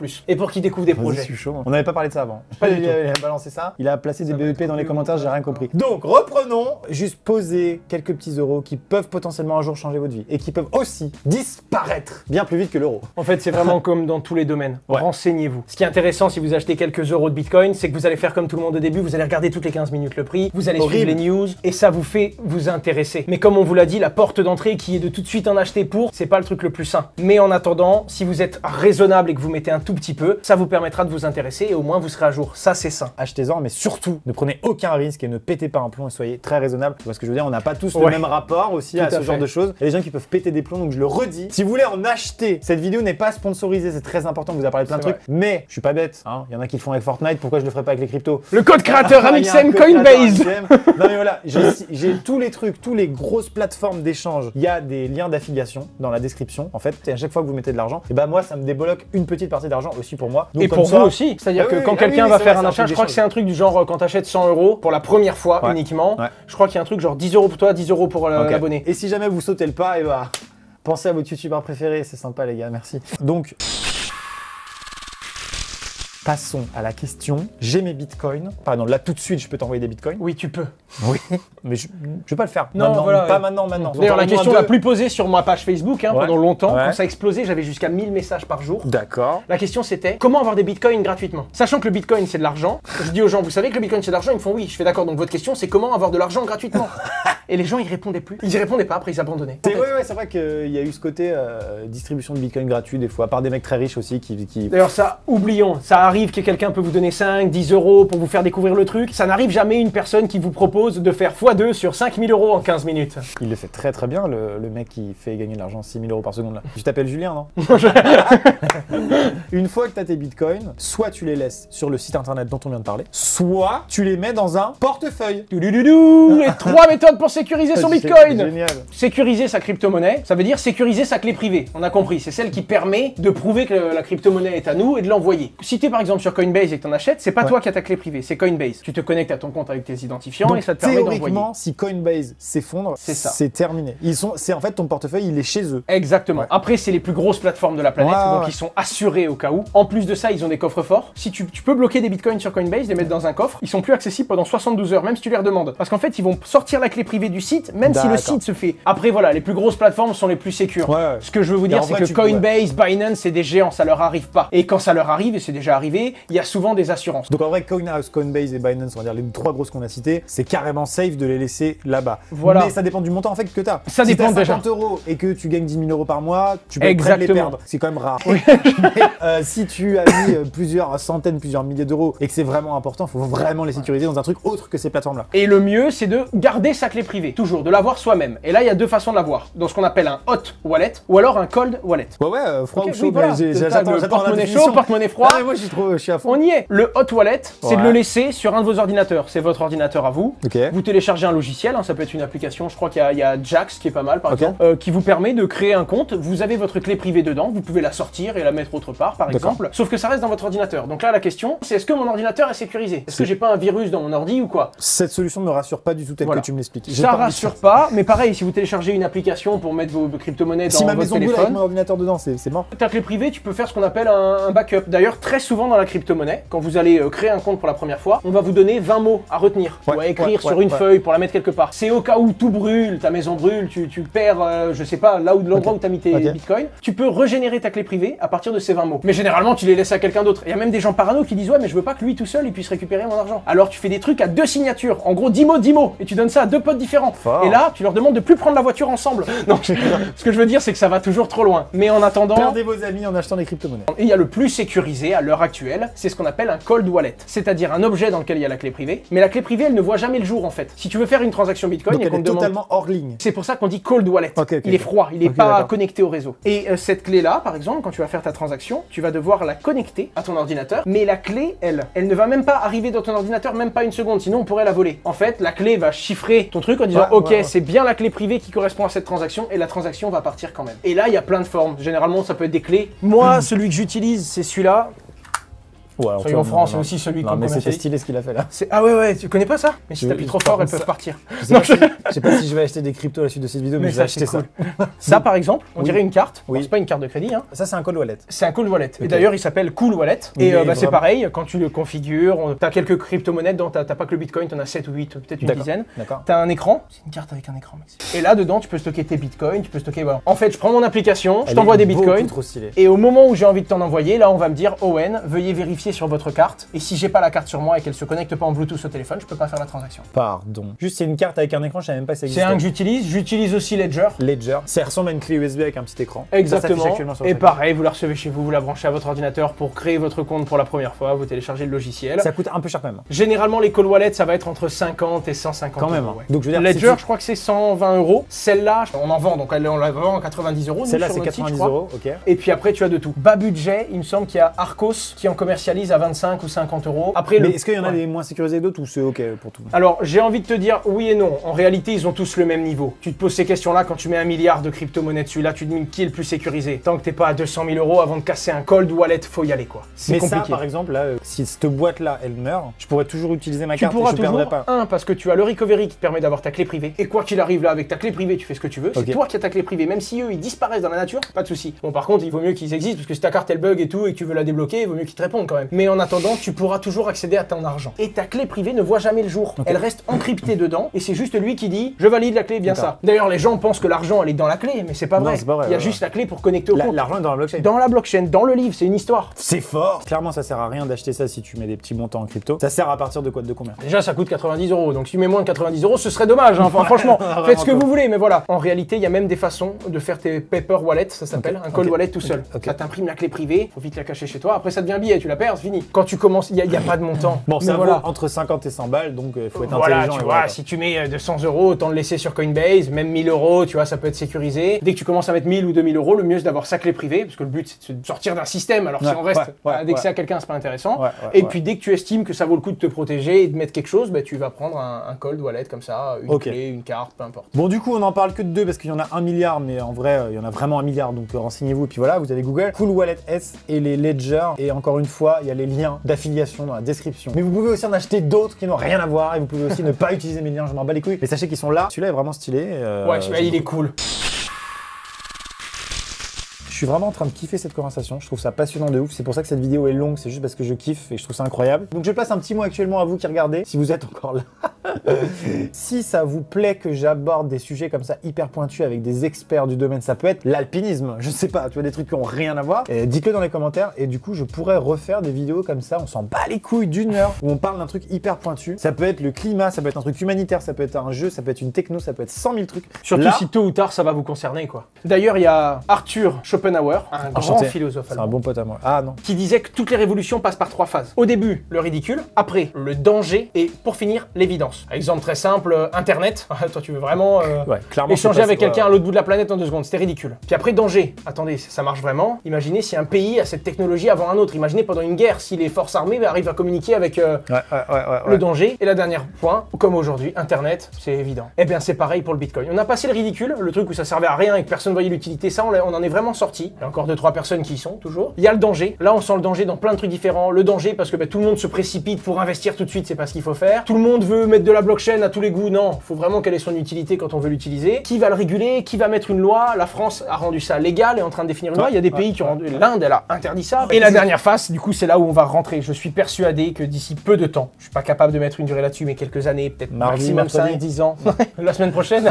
Mais on va rentrer dans la phase où ce sera évident. Et je pense que d'ici 5 ou 10 ans, la blockchain, on l'expliquera plus. Comme Internet. On l'expliquera pas. Et on vous l'aura dit avant. Et c'est le but, justement, de faire ça. Et vous êtes très peu à être resté au bout de ces 16, Ouais. ces 16 heures, j'allais dire. ces 16 heures et ces Là, 37 c'est minutes de. Ouais. Après ces trois jours de conversation. Mais en tout cas, voilà, c'est pas du divertissement comme d'habitude. Je suis pas en train de faire des vannes, je suis pas en train de faire des monopolies géants version YouTube. Mais c'est quand même intéressant et c'est un format de vidéo qui me plaît beaucoup. Donc vraiment, dites-moi dans les commentaires si ça vous plaît. On lit vos questions, c'est parti. À quand la, la Mixem Coin Non mais Oh. stop Ah oui, mais c'est un truc de dingue parce que. C'est 01 net qui tweet en plus. non. Si 01 net, il dit ça. Viens, on l'a créé. Tu en donnes à tous tes abonnés et tout. Et tu dis, je vous jure, si un jour je fais cette tour géante et que là on a du financement, je le rachète un euro pièce. Faut pas me dire ça parce que moi ça me fait beaucoup trop rire. Il y a un, par contre, il y a un boulot de malade. Il y a des Mais non, non, non, non, c'est mort, ça rentre pas Non, c'est pas vrai. En fait, en une demi-heure, avec un bon business plan, j'arrive à faire ça. On l'a fait alors D'où Alors ça c'est une question, elle a été likée de ouf, c'est une question de Yanis qui nous dit d'où vient l'argent? C'est bête comme question mais en vrai c'est une Eh ben, des gens qui sont rentrés, des gens qui ont mis dedans Des- au tout début. du white que- paper. Oula, non, non, non. D'où vient l'argent? Pourquoi le bitcoin est à 8000 euros aujourd'hui? Il est à 8000 euros parce que sur tous les échanges de la planète, comme Ouais. Binance, il y a des gens qui sont en train d'en acheter et d'en vendre à ce prix-là. Il y en a qui en achètent à 8001 euros, il y en a qui en vendent à 8002, et on dit que le prix c'est 8001,5. Ouais, ouais. Voilà. Ok, ok. C'est ça le prix. Mais en gros, quand tu vois de l'argent sur une crypto-monnaie, c'est parce qu'il y a vraiment des gens qui ont mis de l'argent dedans. Ok, donc d'où vient l'argent au sens d'où vient l'argent en termes d'euros Eh ben elle vient de la spéculation en vrai. C'est C'est ça, C'est la des gens qui achètent, c'est ça. D'ailleurs, la valeur du bitcoin vient de la confiance qu'on lui donne. Comme Il y a un- l'euro, mais comme Il y a un l'euro. gros- une grosse question sur est-ce que c'est une bulle spéculative? Oui et non. Oui, dans le sens où ça peut monter très vite en valeur et ça peut éclater au niveau de son prix et redescendre tout de suite avant de remonter. Ok. C'est une bulle spéculative financière. Une bulle financière, oui. Par contre, les gens, ils comparent les bulles spéculatives en mode ouais, en fait, c'est du vent, il y a rien à l'intérieur, il y a Ouais. pas de révolution. Ouais, ouais, Du coup, ouais. à un moment, ça va s'éclater. Ouais. Là, c'est faux. Il y a vraiment une technologie, il y a une valeur, ce qu'on appelle une valeur fondamentale. Maintenant, imagine, on crée le Amixem Coin. On Ouais. imagine qu'il a aucune valeur technique, il révolutionne rien. Ouais. Par contre, tant que toi, Amixem, tu dis, à chaque fois que des gens viendront me voir avec des Amixem Coin, je les rachèterai à 1 euro, je vous le promets, et bien à toi tout seul, tu donnes une valeur fondamentale. Et c'est ça qu'il faut comprendre. Par contre, on le précise bien. Ah, faux. Parce qu'on en a beaucoup parlé, il n'y a pas de Amixem Coin, d'accord ouais, N'allez pas en acheter parce que ça peut se faire très rapidement. Quelqu'un peut créer une bêtise en, en deux heures et faire un truc vraiment pas fiable. N'achetez pas ça, c'est pas vrai. pas Jamais de la vie, je ne, je ne l'aurais pas fait. Comme je ne crée pas des chaînes YouTube qui au final sont créées et les gens mettent du contenu de merde Ça, en se ça passer t'énerve, pour ça, hein, ça, ça Ah, t'énerve. Bref, est-ce que Superman peut la toucher? Est-ce que Superman peut la toucher? Par rapport à la crypto La kryptonite Très très dur. dur. Moi, je la trouve bien. Je Par la contre, j'aurais jamais compris moi. J'aurais jamais fait le lien. Casé, franchement, elle était bien. La crypto Superman, elle existe, je crois. C'est vraiment, il y a des crypto-monnaies qui servent vraiment à rien. D'accord. qui ont vraiment aucune valeur, ni technique, ni fondamentale. D'accord. Mais ça plaît. D'accord. Le Dogecoin, normalement, tu sais, le, le- le coin avec la tête de Shiba, Ouais. il est devenu super connu. Tellement qu'il est toujours dans les top ranks, peut-être dans le top 100 des Mais il sert à crypto-monnaies. rien. Rien du tout. Sauf qu'il s'échange très vite. Il est pas mal techniquement, comme il n'y a pas grand monde qui l'utilise, tu peux vraiment faire passer des gros montants rapidement, en quelques secondes, sans frais. ok. Je crois que tu payes 1 dollar, genre 0,00001 Ah, euro valeur par rapport à ça. Mais il a une valeur et il continue parce que tout le monde l'a accepté comme étant la blague de toutes les crypto-monnaies. D'accord. C'est ancré. Frozen Till, le bitcoin, c'est utilisé par les criminels. C'est faux. C'est pas utilisé par les criminels. Surtout pas le bitcoin. Des crypto-monnaies peut-être. Le bitcoin peut-être il y a longtemps, parce qu'à l'époque c'était tellement incompréhensible. Déjà qu'aujourd'hui c'est compliqué. Imagine il y a 10 ans. Le bitcoin c'était un truc genre la police n'aurait même pas voulu ouvrir un dossier en mode le- il y a le nom derrière, tu vois. Euh, Aujourd'hui, personne n'utilise le bitcoin pour ça. Et même à l'époque, Ou très très ou alors une quantité. proportionnellement à ce qu'il y a en dollars, c'était ridicule. Mais ça l'est encore moins aujourd'hui parce la que c'est. proportion, c'est ça, je crois que enfin, j'avais lu ça en tout cas, je sais pas si c'est vrai, mais la proportion de blanchiment d'argent et de, de conneries faites avec le dollar est la même que la proportion. euh, C'est ça, sur exactement. Et si on voit tout l'argent blanchi sur le deep web, qui est quand même l'endroit où tout le monde pense qu'on va échanger des bitcoins, eh bien c'est vrai que le, la bitcoin c'est la monnaie du deep web, mais pas que pour des trucs illicites. C'est la monnaie qu'on échange là-bas sur un réseau décentralisé. Pas du tout pour faire des trucs illégaux, parce que c'est traçable et ce serait la pire des idées du monde. Le bitcoin, c'est qu'en fait, il y a que. Ah ouais, il y a ce côté-là aussi. Sa dernière question, c'est il y a que les personnes qui ont acheté au début, qui ont gagné de l'argent, maintenant ça sert à rien. Ça, c'est juste si, ta si ta perspective, c'est de faire euh, du trading finalement. Alors, Mais si, si tu prends déjà c'est techno- triste, déjà c'est triste. hein. C'est triste de, de voir la crypto-monnaie qu'à ça. Enfin, c'est vraiment une Ouais, personne. ça, ça. Moi, je suis amoureux d'un- d'une voiture, du Voilà, moteur, voilà. de la vitesse et tout. Il vient me voir, il fait ouais, je déteste les jantes. Je fais ouais, mais t'as raison, t'as raison. N'achète jamais de voiture. Ouais, T'as bien raison. Déjà, c'est ça, ça m'énerve. Ensuite, il y a d'autres crypto-monnaies. Même dans ce raisonnement qui est pas euh, le bon raisonnement, bah, il y en a d'autres. Et pour finir, le Bitcoin n'est encore pas du tout connu. Ce que je veux dire, c'est que c'est pas parce qu'il a déjà un certain prix aujourd'hui qu'il peut pas monter beaucoup plus haut, comme c'est pas parce que bah, il est déjà monté à 20 000 qu'il peut pas retomber à 10 euros. Faut comprendre que ça peut aller dans les deux sens. Et en tout cas, aujourd'hui, il y a tellement peu de gens qui connaissent le Bitcoin. Pour vous donner un ordre d'idée, si Internet avait la même valeur que la blockchain, un Bitcoin, ça vaudrait peut-être des dizaines ou des centaines de millions à l'heure actuelle. C'est possible que. Parce que donc, le bitcoin, il était style à 200, 400 dollars. Il est passé à 20 000 dollars quand il y a eu en 2017 le- la bulle du coup du bitcoin, on va l'appeler comme ça. Actuellement, il est plus à 10 000 dollars. Mais il est possible que tous ces chiffres-là soient rien par rapport à ce qui peut Par rapport à arriver. ce qui peut arriver, Voilà. totalement. Il est possible que le bitcoin à 300 000 dollars dans, dans 10 ans, c'est possible. C'est ça, et il y avait eu une première bulle, avant le Bitcoin qui était passé de 200 à 20 Ouais. 000 dollars, il y avait une première bulle où il était passé de 10 euros à 1200 euros, puis une toute première où il était passé de 1 euro à 12 euros, et une toute toute première où il était passé bah, de la valeur qu'il avait, c'est-à-dire un 10 millième de pizza, la toute première valeur du Bitcoin, il était passé de ça à 1 centime par Bitcoin. Un mec qui a créé un site internet, qui en donnait à la base pour que les gens s'y intéressent, je vous l'ai dit, c'est un bon moyen de s'y intéresser, puis un jour il avait tellement de demandes, il n'arrivait plus à fabriquer ce que les gens demandaient, donc il a dit, les gens, je suis désolé, je mets à 1 centime l'inscription, et il en a fait tellement, il s'est dit, mais c'est rentable en fait, et là vous avez compris, le mec il a créé le premier exchange, le premier endroit où des gens viennent en disant je veux bien en acheter à tel prix, et il rencontre des gens qui disent moi je veux bien les vendre à tel prix. Waouh. Cette question est folle et euh, on retrouve beaucoup ce genre de questions. C'est penses-tu qu'un jour la crypto-monnaie remplacera entièrement la monnaie habituelle? Alors je dis pas qu'elle va remplacer la monnaie actuelle, c'est peut-être même nos États qui vont créer leur monnaie en crypto-monnaie, c'est possible. Car je pense que là, Mais quoi, Wen bah, peut-être que l'État va supprimer les euros et va créer les crypto-euros. Ce serait la logique. Carrément. Tout comme euh, quand on est passé de la poste au, au mail, oh quelle, ah, quelle idiotie, ça marchera jamais, ça va tuer. Non, c'est une évolution, Et ça, c'est comme ça. ça changerait totalement les. Ça, c'est un truc qu'on n'a pas dit, mais ça changerait totalement. Genre les, les, les- les transactions commerciales à travers le monde, Ah, puisque alors, toutes les transactions commerciales seraient écrites dans un livre accessible à tout le monde. C'est ça. Après, si l'État crée sa crypto-monnaie, ça voudrait dire par définition que si je paye mes impôts, je vais voir exactement comment ils sont utilisés.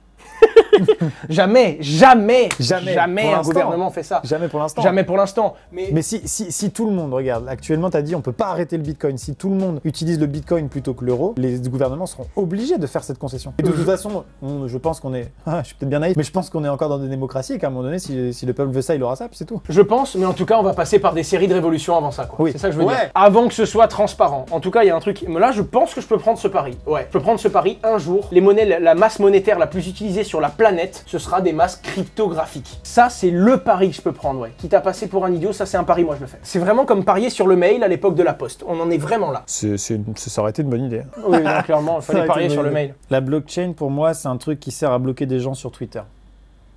On va pas répondre à cette question. Question de Nicodime qui nous demande Est-ce que Zachary, 12 ans, avec une GTX 1060, peut miner de la crypto dans sa chambre? Miner, oui. La question c'est est-ce qu'il va être rentable? Est-ce qu'il va gagner plus de crypto-monnaies que ce que ses parents vont payer à la Oui, fin mais du c'est mois? ses parents, c'est là où il est forcément Voilà, donc du coup lui il est rentable, hein, on est Parce que d'accord. c'est papa et maman qui payent. Après, il faut faire le calcul intelligemment et prévenir papa et maman. C'est un petit peu comme quand vous allez sur un site de jeux vidéo et vous n'avez pas de carte bleue, du Mais coup vous utilisez ça- le téléphone fixe de la maison. Ça- Vous savez ce que ça engage. Non mais ne minez pas à l'insu de vos parents. Ah, Qu'est-ce que je viens de dire Ça Minez pas à l'insu de vos parents. On est d'accord que juste mettre à dispo un PC gamer de base, ça va te ramener quoi? Rien du tout. En termes, si tu fais la conversion en euros, ça va être. À l'heure actuelle, tu arriverais peut-être à dégager 50 centimes de bénéfices par jour. Peut-être tu peux te faire un 10-15 euros par mois. En Mais- laissant tourner ton PC comme un, comme un rat Ah oui, alors par, de base, la carte graphique elle fait un maximum de calcul, du coup elle chauffe à fond, du coup tu vas consommer le max de ce que Et carte potentiellement, graphique tu vas la tuer et elle va te coûter. euh, Alors oui, c'est vrai. Pour tuer une carte graphique en minant à fond, il faut l'exploiter pendant 2 à 3 ans. Croyez-moi, ça c'est ma cam. Déjà, évitez de miner en lançant Battlefield. Là, vous allez avoir un souci de chargement des graphismes. Évident. Mais en tout cas, voilà. Ça peut être sympathique quand les cryptos s'envolent ou s'il y en avait une que, s'il y en a une que vous aimez vraiment, même si c'est pas rentable, vous vous faire un petit stock quand vous n'utilisez pas votre PC. Il y a même des sites où tu peux euh, laisser ton ordinateur disponible pour la NASA et ils utilisent ta puissance de calcul, mais pour leur calcul à eux en fait. Alors c'est pas de la crypto-monnaie, mais c'est un système d'échange cryptographique. D'ailleurs, il y a un projet qui s'appelle euh, Golem et euh, tu vas dessus et tu laisses la puissance de ton ordinateur et en gros tu loues. Tu connais Shadow Gaming par exemple ouais. Ben, C'est un truc comme ça. D'ailleurs, un jour ou l'autre, je me demande si Shadow Gaming n'ira pas jusqu'à racheter Golem. Et en gros, les gens vont, ils délèguent. Alors moi, je laisse 50% de mon disque dur, 100% de ma carte graphique. De toute la nuit, je laisse mon processeur et euh, tu vas être rémunéré en fonction de ce qui a été racheté par le réseau Golem et par les gens. donc Zachary, 12 ans, quand ses parents viennent le voir et qu'ils lui disent pourquoi la facture d'électricité est de 1200 euros, il peut répondre J'ai de la Papa, NASA. maman, c'est pour la NASA. Oui, c'est terrifiant. c'est terrifiant. Pourquoi les courbes de la crypto-monnaie font n'importe quoi, ça monte beaucoup puis ça descend beaucoup, c'est lié à quoi? On a déjà répondu un petit peu à ça, mais ma question c'est si les gens achètent des crypto-monnaies, actuellement l'euro, quand je me réveille le matin, il vaut à peu près la même chose que le soir. Ouais. C'est pas trop le cas pour les crypto-monnaies pour le moment. Est-ce qu'au bout d'un moment ça va se stabiliser? Je pense que Alors oui. normalement oui, parce que ben, plus il va y avoir de monde, aujourd'hui ça peut beaucoup swinger, parce qu'il y a la plupart des gens, 90% des gens qui vont en acheter, c'est leur job de rentrer au bon moment, sortir au bon moment. Ouais. Plus il va y avoir d'usage, plus ça va devenir utilitaire, moins on va regarder le prix, plus on va l'utiliser, et à ce moment-là c'est plus stable. Donc naturellement oui. En fait ça dépend des volumes. C'est compliqué, mais quand s'il y a que 5 acheteurs et vendeurs d'escargots magiques au monde, eh bien s'il y en a 3 qui meurent, ça va changer le marché. Tu vois ce que je veux dire Ah. Alors s'il y en a 500 millions, eh bien il faut qu'il y ait beaucoup plus de changements. Plus il y a d'acteurs, plus il y a de volume de transactions, plus ça va stabiliser la volatilité, c'est-à-dire le fait que ça peut swinger d'un coup. Il y a pas mal de questions, je vais pas toutes les lire, mais sur le minage et sur les gens qui comprennent pas forcément le minage, mais juste qu'il faut comprendre, c'est que je trouve que le mot est pas très approprié, c'est pas vraiment du minage, genre Ah, j'ai trouvé une nouvelle, un nouveau bitcoin, c'est pas ça en fait, c'est juste tu travailles pour la blockchain et en récompense la blockchain t'offre une petite, un petit C'est bitcoin. exactement ça. Qui n'existait pas avant, c'est ça qui est important, c'est là, c'est là que c'est du minage. C'est- Alors, il y en a deux en fait. Parce qu'à la base, tu vas vérifier des transactions toute la journée. En réalité, ton ordinateur fait un calcul. Dès qu'il y a un nouveau bloc, une nouvelle page, c'est un seul mineur qui prenait les transactions de, toutes les trans- de tout ce qu'il y avait dedans. En fait, tu avais un calcul à faire. Le premier qui trouvait le résultat euh, pour que x égale 5, Ouais. eh bien, il gagnait. Et il recevait tout. Ce que je veux dire, c'est qu'avec les mêmes ordinateurs, on pouvait miner une semaine chacun. Moi, je pouvais gagner trois fois, toi, tu pouvais gagner zéro fois. Voilà pourquoi minage. Parce qu'à l'époque, quand on allait miner et qu'on allait chercher de l'or, on Ah, savait d'accord, pas si on allait d'accord. revenir. D'accord. Ça vient de là. Après, ça s'est mutualisé. Et les mecs, ils se sont dit, écoute, je- pendant deux mois, là, j'ai été riche. Pendant deux mois, c'est toi, et maintenant, je suis pauvre. Autant- Autant, être intelligent. On se connecte dans ce qu'on appelle une pool. On a deux fois plus de puissance. Et quoi qu'il arrive, à la fin de la journée, on fait 50-50. Ok. C'est plus sain. Et du coup, c'est plus vraiment du minage avec ce mot-là, dans le sens où on sait aujourd'hui, avec tant de puissance sur tant d'heures, combien tu vas gagner. Par contre, faut que tu le saches, dès que tu as une récompense, tu as deux types de récompenses. Premièrement, les frais de transaction. Moi, je t'en ai, quand je t'envoie des bitcoins, je vais mettre Mhm. Ouais. un peu de frais. Donc ça, c'est pas des nouveaux bitcoins, c'est des anciens bitcoins qu'on redonne nous deux dans notre transaction aux mineurs. Mais il y a aussi une partie des nouveaux bitcoins générés. Et on sait exactement quand est-ce que le dernier bitcoin sera Tout miné. à fait. Alors, le dernier bitcoin ne sera jamais miné. Regarde, on imagine que là, je suis 18 millions de bitcoins. Ça Toi, va. tu es 21 millions. Très bien. Eh bien, tous les X temps, c'est une règle mathématique, on divise la distance entre nous deux de demi. Je vais me rapprocher de toi, mais je n'arriverai jamais à toi si tu veux. Oui, oui, parce que tu Donc, divises toujours par deux la Voilà, il distance. y en aura toujours un tout petit peu. Bon, Libra, Facebook, c'est bien ou pas? C'est la grosse question. hein. Ça, Facebook en lance vrai, sa En vrai, on résume ça simplement, vais- mais ça fout un, un méga coup de pub et un méga coup de projecteur sur la blockchain et sur les cryptos. Mais en vrai, Voilà. est-ce qu'ils vont vraiment être bons? C'est exactement. Est-ce que c'est bon? Les gens me disent, est-ce que c'est bon pour toi? Pour moi, oui. J'explique la en Je démocratise. Je dis depuis des années et des années, même quand personne voulait m'écouter, que c'est la révolution. Il y a Facebook qui lance la sienne. Je suis content, voilà. Après, il y a un truc qui fait peur, c'est que Facebook va créer une monnaie, et il l'explique très bien. C'est pour bancariser. Il y a des gens qui n'ont pas de compte en banque et qui ont quand même besoin d'échanger, notamment dans plein de pays. Ouais, C'est presque ouais. 40% des utilisateurs de Facebook. Donc, créer la monnaie de tes utilisateurs, c'est génial. Après, le truc qui fait peur, c'est qu'en faisant ça, Facebook peut très rapidement devenir la plus grosse banque de la planète. Ça reste quand même des entreprises qui peuvent tout diriger. Donc là, il y a des, là, ça fait beaucoup de bruit. Là, on a notre ministre de la Finance qui commence à secouer un petit peu. Mais c'est bien aux que ça, États-Unis. ça les force à, à parler de crypto en fait. Quoi qu'il arrive, c'est bien pour la démocratisation de la technologie. Ça veut définitivement dire qu'on n'est pas des fous. La Ouais, technologie ouais, est ouais. révolutionnaire. Après, est-ce que c'est bien d'un côté social? Je sais pas, et on sait pas encore comment ça va se faire. D'ailleurs, on sait pas exactement à quel point elle va être décentralisée, à quel point elle sera transparente, on sait pas tout ça. Ok. On le sait pas encore. Ça a quand même Mais- bien fait flipper toutes les instances financières de la planète, c'est un truc de fou quoi. DB Killer, comptes-tu investir dedans? Investir, je sais pas si c'est le bon mot. J'ai juste posé les euros qui me sauveront, j'espère, peut-être demain, si jamais il y a un gros truc. C'est-à-dire que je suis convaincu à mort par la technologie, même si on est 10 ans avant qu'elle devienne une évidence, comme a dit Owen tout à l'heure. Donc pour l'instant, j'ai juste mis ça en mode voilà, j'ai une femme, j'ai une fille, j'ai une maison à payer avec un emprunt à rembourser, une Redbox à rembourser aussi. Et de ce que je lis et de ce que je, je, je, je m'informe comme tout le monde et je vois que ça peut péter et que demain, la banque, elle peut me dire pas du tout, monsieur, l'argent que vous aviez, vous ne l'avez plus. Et j'ai juste euh, cette petite assurance qui, dans ma tête, est une assurance pour l'instant. Et l'or, quand tu regardes le cours, c'est grave intéressant l'histoire de l'or parce que, genre, sur 3000 ans, ça a quasiment. euh, c'est bah, une valeur euh, stable et peu importe ce qui se passe. Et on peut facilement faire un parallèle sur le Bitcoin parce que bah, si on regarde, euh, on peut aussi dire qu'il n'a pas de valeur. Alors, hein, ça reste un caillou jaune. Ouais, On non. lui a donné de la valeur parce qu'il est précieux, parce qu'il est limité, parce que Et parce qu'on en que a besoin dans les produits qu'on. Exactement, c'est ça en fait. Ouais. Il y a plein de gens qui disent ouais ton bitcoin tu peux pas payer ton pain avec. Alors déjà tu peux avec des cartes de crédit. Ouais. Après ils me disent ouais mais c'est pas vraiment le bitcoin, c'est un système qui va transformer ton bitcoin en euros pour le réseau Visa. Ok, j'accepte l'excuse, mais il y a un truc qu'il faut comprendre, c'est qu'on va pas payer son pain avec de l'or non plus. C'est ça, c'est vraiment quelque chose T'es obligé de l'échanger, euh, ouais. Exactement. Après, oui, dans l'usage de tous les jours et pour pouvoir aller payer ou donner un tips sur YouTube à quelqu'un que tu regardes, oui, non, effectivement, le Bitcoin, c'est pas encore adapté. Mais sur Twitch, il y a des crypto-monnaies acceptées. Grave. Par exemple, et tu peux faire des dons comme ça. Grave, grave, grave. Ça devient de plus en plus connu, ça arrive. Intéressant. Comment on transforme la crypto-monnaie pour l'utiliser comme monnaie courante, genre l'euro? Bah ça c'est directement par exemple avec Coinbase. Une fois que t'as ta crypto, c'est vrai qu'on n'a pas dit tout à l'heure, mais tu peux la redemander en euros quoi. Tu peux dire En fait, hey, on a donné un peu le cycle. Comment acheter, comment l'échanger contre d'autres Ouais. crypto-monnaies, comment sécuriser. Ouais. Bah, quand tu désécurises, tu peux rééchanger contre du Bitcoin et tu peux rééchanger ton Bitcoin Donc contre des ouais, euros. c'est pas, c'est pas irréversible comme truc. Genre quand vous achetez des cryptos, vous pouvez redemander vos euros évidemment. Y a-t-il une crypto-monnaie qui s'est déjà effondrée? Oui. Alors effondrer au niveau de son prix, perdre beaucoup de sa valeur, il y en a plein. Ouais. Presque toutes celles du top 100, elles se Et sont déjà disparaître effondrées. Disparaître, non. Disparaître au point que euh, un milliard de la crypto-monnaie, ça vaut même pas un centime, oui. C'est-à-dire euh, avec une valeur totalement nulle. On peut devenir riche avec ça? Oui, et tu peux aussi tout perdre, mais euh, tu peux devenir riche. Il y a des projets qui bossent sur un truc comme ça. Là, je viens de voir le V-Bug sur ton écran, j'y ai pensé. Le truc, c'est ce que dans World of Warcraft, t'avais des pièces d'or. Ah oui, il y a des crypto-monnaies, de, de- le crypto gaming. Parlons Eh, du crypto gaming. Le crypto gaming, ça va devenir énorme. C'est-à-dire que la crypto-monnaie qu'on peut avoir dans un jeu, quel, quel que soit le jeu, un jour on aura peut-être une monnaie qui, dans le jeu, va avoir une valeur. Et il y a peut-être des économies qui vont s'effondrer dans un jeu, par exemple, je sais pas, moi, genre dans Minecraft, ça s'effondre. Et du coup, tous ceux qui avaient de l'argent sur World of Warcraft sont super riches dans Minecraft. Et tu fais circuler ça. Et tu peux aller sur un exchange et échanger ça horrible. contre des vrais euros. Mais à la base, je voulais juste m'amuser, moi, je voulais pas être trader. Non. Mais en fait, Enfin, le crypto gaming, c'est un autre sujet complètement fou et ultra vaste. Et en gros, euh, ce serait euh, bah ouais, mettre en gros des économies à l'intérieur de jeux. Je pense que le meilleur exemple, c'est Star Citizen, parce que Star Citizen, c'est un jeu gigantesque qui va aussi changer le monde quelque part.